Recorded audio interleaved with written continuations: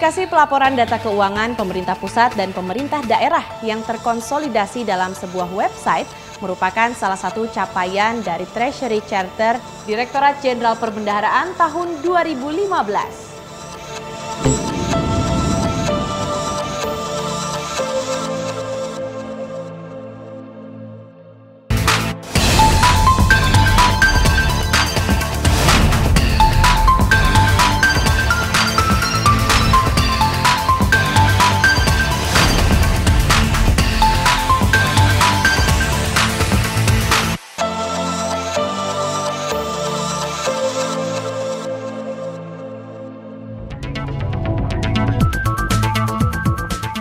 Untuk memenuhi kebutuhan pemangku kepentingan atas data pemerintah pusat dan daerah, konsolidasian secara berkala dan tepat waktu, Direktorat Jenderal Perbendaharaan meluncurkan website pelaporan data keuangan pemerintah pusat dan daerah konsolidasian.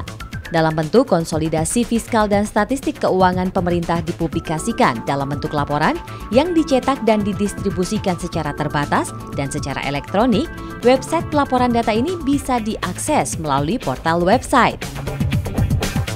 Publikasi laporan keuangan pemerintah konsolidasian dan laporan statistik keuangan pemerintah tingkat nasional dan tingkat wilayah dimunculkan secara elektronik sehingga lebih efektif dan efisien dan perluasan jangkauan publikasi langsung kepada pemangku kepentingan. Sebenarnya kita akan mengembangkan website itu di level di dua level ya. Di DFS itu posisinya di mana ya? Baik, di dalam nasional dan wilayah untuk BUMN dan BUMN. Dalam website laporan data pemerintah pusat dan daerah konsolidasian ini memiliki informasi terkait pelaporan data keuangan dan statistik secara berkala dan komprehensif.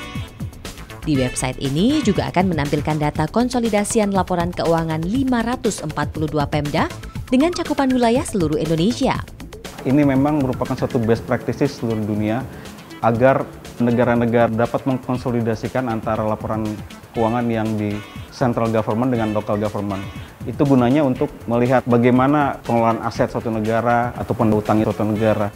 Lalu kalau ada sisa namanya equity, kita di sini untuk melihat bagaimana konsolidasi keseluruhan negara. Latar belakangnya adalah untuk full information kepada stakeholders seperti IMF, Bank Indonesia, pemerintah daerah, ya lalu ada juga dari donor, dari lender. Ke depannya ya tentu kita akan update informasi terus. Artinya update di sini kita lihat laporannya berkembang dari setiap triwulan, triwulan, semester, bahkan tahunan. Nah itulah nanti yang akan digunakan oleh para stakeholders tadi untuk mengambil keputusan. Kemudian keputusan apa, data sekarang jadikan feedback untuk future planning. Kita ingin mengkomunikasikan data keuangan pemerintah pusat dan daerah secara berkala kepada stakeholder. Nah, karena itu kita berpikir kita butuh website. Tujuannya dan manfaatnya tentu saja ini untuk untuk stakeholder kita ya. Jadi selama ini uh, eh, BI, BPS misalnya ya, mereka membutuhkan data-data baik data konsolidasian akuntansi maupun statistik dan mereka selalu bersurat ke kita uh, secara triwulanan ataupun tahunan. Nah, dengan adanya website ini tentunya mereka tidak perlu lagi harus bersurat ke kita, tapi mereka cukup mengambil data yang ada di website dan kita juga punya uh, video e-learning yang nantinya bisa digunakan oleh stakeholder untuk belajar apa itu statistik keuangan pemerintah. Selama ini kami sudah memperoleh data GFS ini dari Kemenq dalam hal ini, Dirjen Perbendaraan. Selama ini kami memperolehnya data soft copy maupun hard copy. Dan dengan adanya GFS yang masuk ke website, tentunya akan memudahkan kami, Bank Indonesia sebagai pemangku kepentingan, untuk mengakses data tersebut. Harapan kami tentunya data GFS tersebut yang masuk ke website bisa continue dan ada series ke belakang dan ke depannya kalau bisa data tersebut dapat didiseminasikan dengan tepat waktu. Website laporan data pemerintah pusat dan daerah konsolidasian ini akan sangat bermanfaat digunakan oleh Bank Indonesia, Badan Pusat Statistik, Badan Kebijakan Fiskal, pemerintah daerah, dan pemangku kepentingan lainnya.